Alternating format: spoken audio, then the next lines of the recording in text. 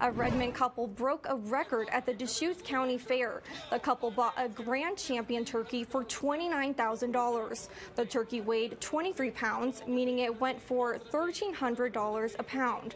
There was quite a bidding war over the turkey. I spoke with Kylie Murist, who, who raised the turkey, who raised the four-month-old turkey, sorry.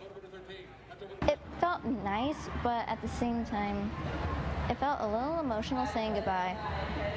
But it it was really fun to take on the challenge of raising turkeys for the first time, so I'm excited to do it next year. She wanted to buy a grand champion something, so we're like, let's do a turkey. We've always liked turkeys, so. And I'm heavy into poultry, like my heart is into poultry. I raise show birds myself.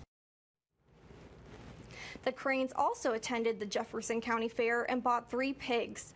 At the Deschutes County Fair, they bought the turkey, two sheep, and three pigs.